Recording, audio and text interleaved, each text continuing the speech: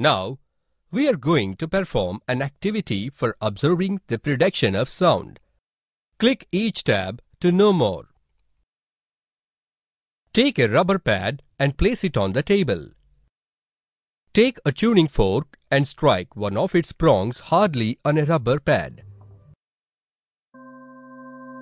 Bring it near your ear. Now, trace your finger alone one of the prongs of the vibrating tuning forks. Observe the changes in both cases.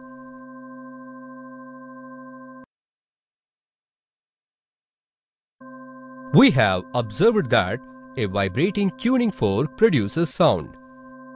Here, when we trace a finger alone one of the prongs of the vibrating tuning fork, we sense that the vibration is stronger towards the end.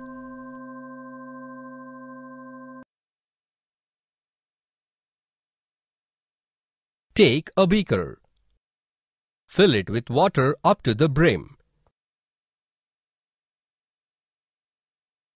Now take tuning fork and strike one of its prongs hardly on a rubber pad. Gently touch the water surface with one of the prongs of the vibrating tuning fork. Now, again take the tuning fork and strike one of its prongs hardly on a rubber pad. Then dip both the prongs of the vibrating tuning fork in water.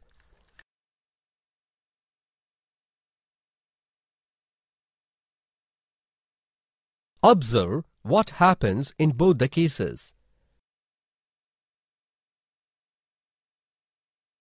We have observed the formation of waves on the water surface.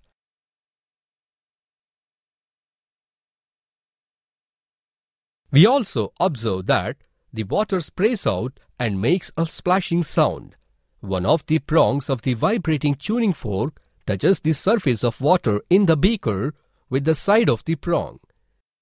If we touch the water with both the prongs of the vibrating tuning fork, we observe the water splashes on the sides and is sprayed higher than before. We learned that the vibrating objects produce sound. Vibration means to and fro kind of motion of an object. So, we conclude that all vibrating bodies produce sound. Sound cannot be produced if the body is not vibrating.